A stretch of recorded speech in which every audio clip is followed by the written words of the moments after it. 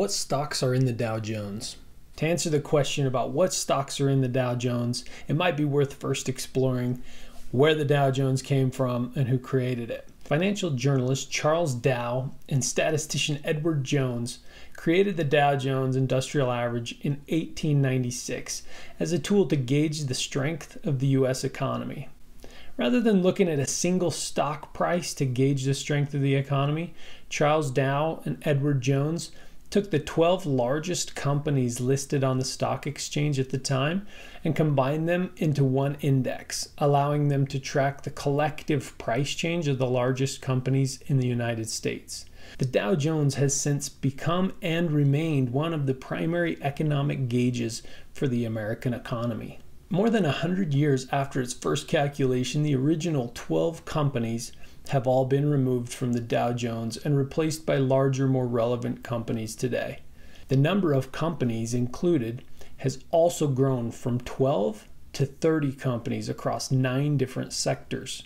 The companies selected are considered to be leaders in their sector of business. Over the last 120 years or so, many index funds have been created to help analysts, investors, and journalists understand the overall strength of broader markets. Index funds are both a good way to gauge market strength as well as an easy way for investors to invest in multiple companies across a single industry or multiple industries, depending on the goal of the index fund. Index funds can include any number of stocks, and they can be exclusive to certain market sectors or industry types, or they can cover multiple sectors and industries. Individual stocks may be included on multiple different index funds. The 30 companies listed on the Dow Jones, for example, are also included in the S&P 500, which is another key fund considered by many to be a more accurate representation of the overall American economy. A key reason why the Dow Jones is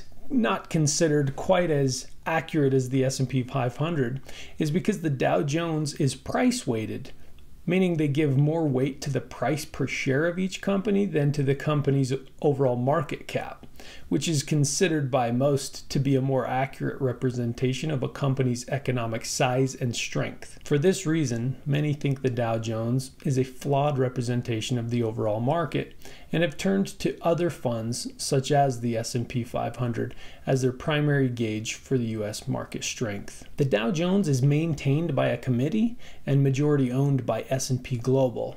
Its low point in 1896 was 28.48 points.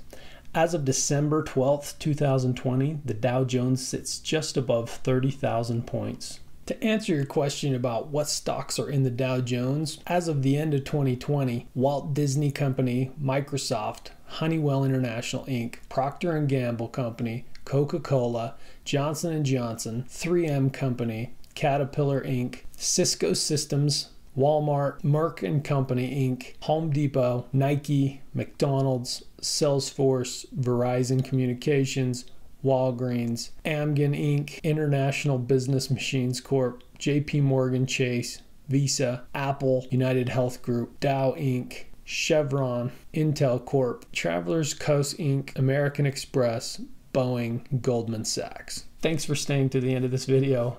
If you found this content helpful, please give it a thumbs up. Also subscribe so that you don't ever miss new videos as they come out.